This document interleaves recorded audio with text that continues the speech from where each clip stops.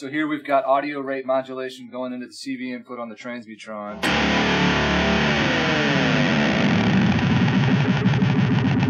This cool uh, Hungry robot envelope pedal. And I'm controlling the uh, split point with the expression pedal.